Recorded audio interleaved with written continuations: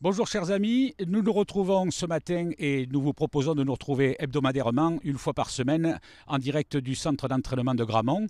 Et cette semaine tout particulièrement, ce sera l'angle de nos rendez-vous, euh, pour évoquer, ouvrir la boîte à souvenirs, évoquer des moments qui ont marqué l'histoire de notre club, et en particulier liés directement au match qui euh, s'approche au calendrier. Alors cette semaine, évidemment, nous sommes tout proches du déplacement à Rennes. Et pour... Euh, se rappeler de bons souvenirs de Rennes. On ne pouvait pas trouver meilleur exemple pour débuter ce rendez-vous que notre ami Souleymane Camara, qui nous fait le plaisir d'être euh, à nos côtés ce matin. Souleymane, vous savez pourquoi je vais vous parler de Rennes? Mm, Oui. Alors, on, va quand même s'en approcher euh, lentement mais sûrement, parce que vous en êtes à votre douzième saison, je crois, à Montpellier, la dixième en Ligue 1. Et évidemment, c'est se rappeler cette extraordinaire, cette mythique, inoubliable saison 2011-2012 vous avez quand même, mine de rien, sous les mains, j'ai bien appris ma leçon, disputé 33 matchs et vous avez marqué 9 buts. Et sur ces 9, vous en avez marqué 3 contre Rennes. De là à ce que les Bretons pensent le week-end prochain que vous êtes euh, leur bête noire, il n'y aura pas loin. Alors vous avez marqué deux buts au match aller contre Rennes cette année-là du titre, à domicile, et vous étiez déjà celui qu'on a qualifié plus tard effectivement de super sub, puisque vous étiez remplaçant lorsque vous aviez marqué deux buts euh, à, domicile. Et puis il y a eu ce but à Rennes. Ça, c'était la 36e journée de championnat. Vous vous en souvenez?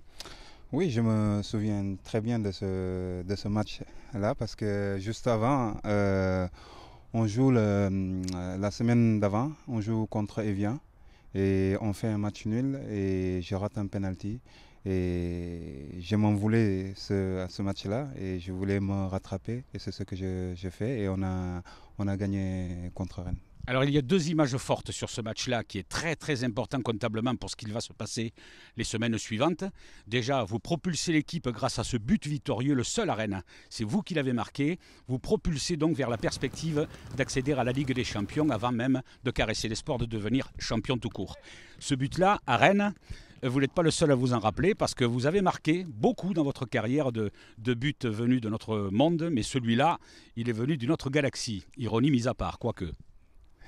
Ouais, c'est vrai que bon, pour moi, comme je l'ai toujours dit, hein, tous les buts sont, importants. Et effectivement, ce, but-là était particulièrement important. On avait gagné, je rappelle, on avait gagné 2-0, je crois. 2-0, oui, 2-0. là qui avait marqué le deuxième but.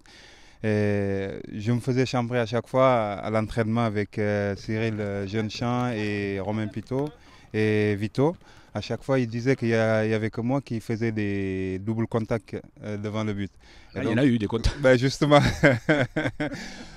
je ne sais plus c'est qui qui met en retrait le ballon et donc, je crois que c'est Rémi. Ouais, donc euh, je fais, je, je glisse sur le pied d'appui et je frappe. Euh, le ballon il tape sur mon pied d'appui. Du coup, le gardien est parti de l'autre côté. Donc euh, le ballon est parti à l'opposé. Donc euh, on a, on a, j'ai marqué ce but-là qui nous a, qui m'a libéré moi personnellement par rapport au match de, précédent.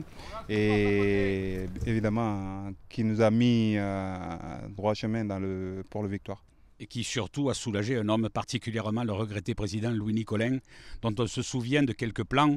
Euh, il était dans les tribunes et il n'en menait pas large. Ouais, c'est sûr, c'est sûr que je me souviens, il était, il était sur le banc à chaque fois, il, vivait le match à fond et donc euh, c'était, voilà, c'était des moments formidables.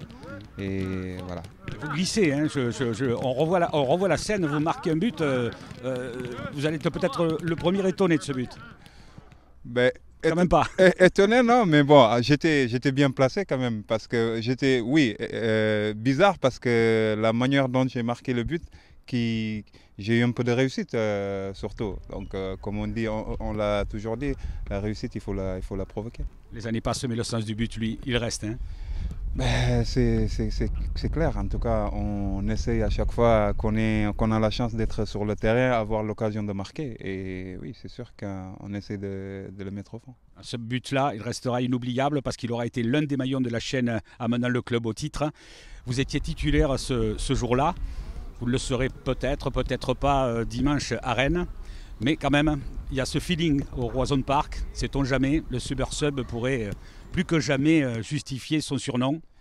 Ben en tout cas, moi d'abord, j'espère qu'on va faire un bon match à l'ensemble de l'équipe et que surtout qu'on va retrouver le chemin de, de, la victoire.